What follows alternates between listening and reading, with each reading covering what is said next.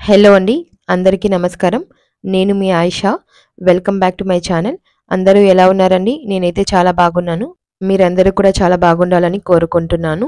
ఈరోజు మీ అందరితో పాటు ఒక బ్లాగ్ని షేర్ చేసుకుంటున్నానండి. ఈవినింగ్ బ్లాగ్ అండి. ఇది గురువారం ఈవినింగ్ బ్లాగ్ అండి. సిక్స్ థర్టీ సెవెన్ తర్వాత ఇక్కడ మా పిల్లలు అయితే ఆడుకుంటూ ఉన్నారండి. ఇంకా నేనైతే బ్యాగ్స్ సర్దుకుంటూ ఉన్నాను. అంటే మేము ఊరికి వెళ్దాం అనుకున్నాము. సో ఆల్రెడీ ప్రిపేర్ అయ్యి రెడీ అయిపోయామండి. ఇంకా డిన్నర్ చేసుకొని స్టార్ట్ అయ్యాం కూడా. మా బస్ అయితే నైన్కి అండి. నైన్కి స్టార్ట్ అయ్యాం. బస్ కూడా ఎక్కేసాము. ఇంకా బస్సులో అయితే మా పిల్లలు ఇలా పక్కన చూసుకుంటూ సైడ్ వ్యూని చూస్తూ ఎంజాయ్ చేస్తున్నారండి. ఇంకా మా పెద్దమ్మ అయితే అలానే చూస్తూ ఉండిపోతుందండి. బస్సులో నుండి అలా చూస్తుంటే కొంచెం కొత్తగా అనిపిస్తుంది కదండి. ఇంకా అలానే చూస్తూ కొంతసేపు తర్వాత పడుకున్నారండి. ఇంకా ఇది అయితే అర్లీ మార్నింగ్ అండి. ఇంకా సిటీకి వచ్చేసాము.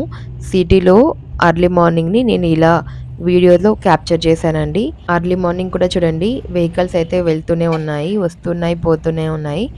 ఇంకా సిటీలో అయితే మనకి ఏ టైంలో అయినా ఏదో ఒక వెహికల్ కనిపిస్తూనే ఉంటుందండి రోడ్డు పైన. రోడ్ అయితే ఖాళీగా అయితే ఉండదండి. ఏదో ఒక వెహికల్ అయితే పోతూనే ఉంటుంది. ఇంకా నాకైతే మా ఆఫీస్ డేస్ గుర్తొచ్చాయండి. మా లాగౌట్ అయితే two thirty three thirty four thirty five thirty one thirty ఇలా ఏదో ఒక టైం ఉండేదండి. నైటే ఉండేది. సో అలా ఈ టైంలో కూడా మేము లాగౌట్ చేస్తూ వచ్చేవాళ్ళము. ఇలానే వెళ్ళే వాళ్ళమండి క్యాబ్స్లో నైట్ లాగౌట్ తర్వాత ఇంటికి. ఇంకా అలాంటి రోజులు అయితే రావండి ఇంకా నాకైతే.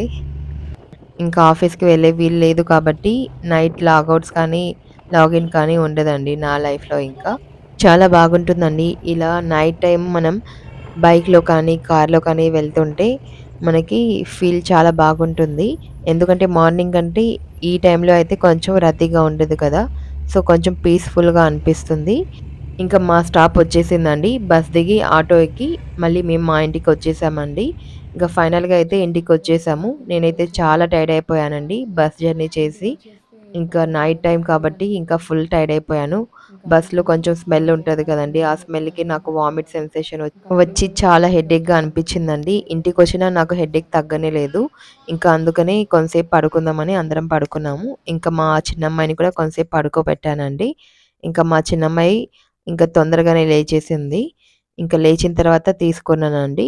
మా చిన్నమ్మాయి అయితే ఎదుగో మార్నింగ్ మార్నింగే ఎత్తుకోవాలని చెప్పి సతాయిస్తుందండి. ఎత్తుకోలేదని కూడా ఏడుస్తుంది. మా పెద్దమ్మ అయితే ఇంకా వాళ్ళ ఫ్రెండ్ని కలవాలని బయటకు వచ్చేసిందండి.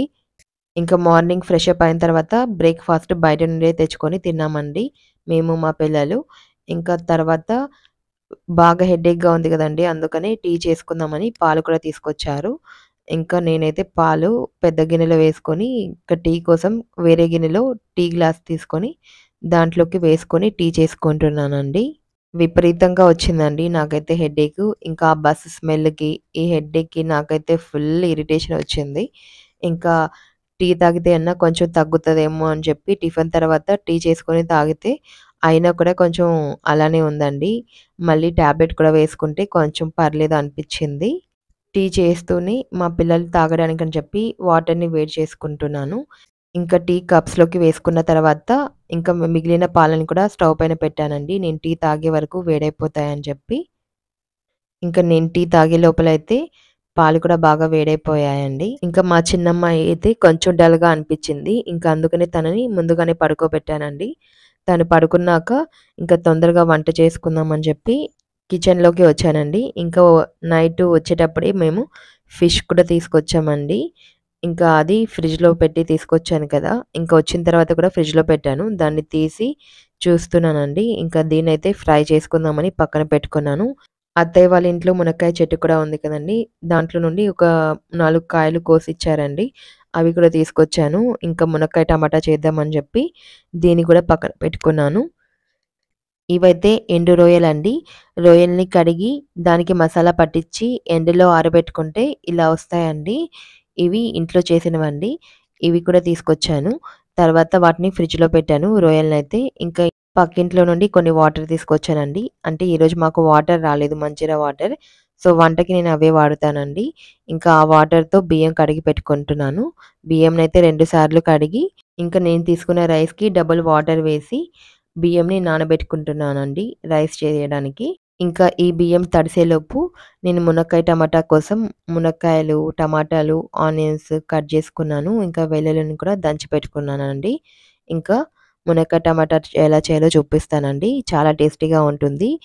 మా చిత్తూరు సైడ్ అయితే మునక్కాయ టమాటాని అంత ఎక్కువగా చేయరండి. ఇక్కడైతే బాగా చేస్తారు. మా సైడ్ అయితే మునక్కాయ పప్పు మునక్కాయ సాంబార్ మునక్కాయ పులుసు మునక్కాయ మసాలా కర్రీ ఇలా చేస్తారు కానీ మునక్కాయ టమాటా చాలా తక్కువ చేస్తారండి. కానీ మునక్కాయ టమాటా అయితే చాలా సింపుల్గా ఈజీగా తొందరగా అయిపోతుంది. అండ్ టేస్ట్ కూడా చాలా బాగుంటుందండి. ఇలా ఒక కుక్కర్ కానీ బౌల్ కానీ తీసుకొని దాంట్లో ఒక టేబుల్ స్పూన్ వరకు ఆయిల్ వేసుకున్నానండి. ఆయిల్ వేసుకున్న తర్వాత మూడు నాలుగు వెల్లుల్లి రెబ్బల్ని దంచి వేసుకోవాలండి. అవి కొంచెం గోల్డెన్ కలర్ వచ్చిన తర్వాత కట్ చేసి పెట్టుకున్న ఆనియన్ కూడా వేసి ఆనియన్ కూడా కొంచెం గోల్డెన్ కలర్ వచ్చే వరకు వేయించుకోవాలి. ఇలా వేయించుకున్న తర్వాత దీంట్లోని మనం ముందుగానే కట్ చేసి పెట్టుకున్న మునక్కాయని ఇలా వేసుకోవాలండి. ఈ మునక్కాడల్ని ఆయిల్లో కొంచెం ఫ్రై చేస్తే టేస్ట్ చాలా బాగుంటుందండి. అందుకని కొంచెం ఒక టూ త్రీ మినిట్స్ వరకు వేయించుకుంటున్నాను. తర్వాత కట్ చేసి పెట్టుకున్న ఒక రెండు మూడు టమాటాలని వేసుకోవాలండి. పెద్దవైతే రెండు చిన్నవైతే మూడు వేసుకోండి చాలు. ఇలా వేసుకొని ఇవి బాగా ఉడికించుకోవాలండి. టమాటా కొంచెం మెత్తగా వరకు ఉడికించుకున్న తర్వాత దీంట్లోని కొంచెం ఉప్పు కొంచెం పసుపు వేసి టమాటా మెత్తగా అయ్యే వరకు బాగా ఉడికించుకోవాలండి. ఇలా బాగా ఉడికించుకుంటేనే మనకి టమాటాలోని గుజ్జు మొత్తం వచ్చి టేస్టీగా వస్తుంది. ఇలా వేసుకుని టమాటా మెత్తగా అయ్యే వరకు ఉడికించుకున్నాక మన రుచికి తగినంత కారం వేసుకోవాలండి. నేనైతే ఇక్కడ వన్ అండ్ హాఫ్ స్పూన్ వరకు వేసుకుంటున్నాను. నేను తీసుకున్న కారం అయితే మరీ ఎక్కువగా లేదండి. అందుకని వన్ అండ్ హాఫ్ స్పూన్ వేసుకుంటున్నాను. కారం ఎక్కువగా ఉంటే ఒక స్పూన్ వరకు వేసుకోండి చాలు. అంటే కారం వేసుకున్నా కూడా మనకి టమాటా కొంచెం పుల్లగా ఉంటుంది కదండి. రెండు బ్యాలెన్స్ చేసుకుంటాయి. మనం రుచికి తగినంత కారం వేసుకుంటే మనకి టేస్ట్ బాగుంటుందండి. ఇంకా తర్వాత కొంచెం మగ్గిన తర్వాత దీంట్లోనే కొన్ని వాటర్ వేసుకొని బాగా ఉడికించుకోవాలండి. ఇలా ఉడికిన తర్వాత మూత పెట్టుకొని దీన్ని ఒక టూ విజిల్స్ వచ్చే వరకు ఉడికించుకుంటే మనకి మన కడలు బాగా ఉడికిపోతాయండి. త్రీ విజిల్స్ పెడితే బాగా మెత్తగా అయిపోతాయి. సో రెండు విజిల్స్ పెడితే చాలండి. నేనైతే రెండు విజిల్స్ వచ్చిన తర్వాత స్టవ్ ఆఫ్ చేసేసాను. ఇంకా దీంట్లో నుండి గాలి మొత్తం బయటికి వెళ్ళిన తర్వాత కుక్కర్ మూతని తీసి చూపిస్తాను చూడండి. మునక్కాయ టమాటా అయితే రెడీ అయిపోయింది. చాలా టేస్టీగా ఉంటుందండి. ఎప్పుడైనా ఇంట్లో మీరు కూడా ఒకసారి ట్రై చేసి చూడండి. చాలా ఈజీగా తొందరగా అయిపోతుంది. అండ్ టేస్ట్ కూడా చాలా బాగుంటుంది. ఇంకా నేను ఇంకొక ప్యాన్ పెట్టుకుంటున్నానండి. నా దగ్గర ఫిష్ ఉంది కదా సో దాన్ని ఫ్రై చేసుకుందామని చెప్పి ఒక ప్యాన్లో త్రీ టేబుల్ స్పూన్స్ వరకు ఆయిల్ వేసుకుంటున్నాను. నేను నాన్ స్టిక్ ప్యాన్ తీసుకుంటే బాగుండేది. ఇది తీసుకున్నాను కదండి కొంచెం అంటుకుంటుంది. సో ఆయిల్ వేడైన తర్వాత ఫిష్ని ఇలా పెట్టుకొని ఇలా ఫ్రై చేసుకుంటున్నానండి. ఇది నాన్ స్టిక్ కాదు కాబట్టి కొంచెం అంటుకుంటుందండి. ఎంత ఆయిల్ ఉన్నా కూడా ఈ ఫిష్ అయితే కొంచెం అంటుకుంటుంది.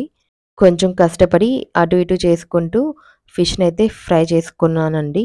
ఈ ఫిష్ ఫ్రై చేసే వరకైతే నాకు ఆయిల్ మొత్తం స్టవ్కి మొత్తం స్ప్రెడ్ అయిపోయిందండి. ఇది కొంచెం చిమ్ముతుంది కదండి. సో అలా ఆయిల్ మొత్తం స్టవ్ పైనంతా పడ్డదండి. చాలా మెస్సీగా అయిపోయింది. ఫైనల్గా ఫిష్ ఫ్రై అయితే రెడీ అయిపోయిందండి. ఇంకా లంచ్ అంతా ప్రిపేర్ అయిపోయింది.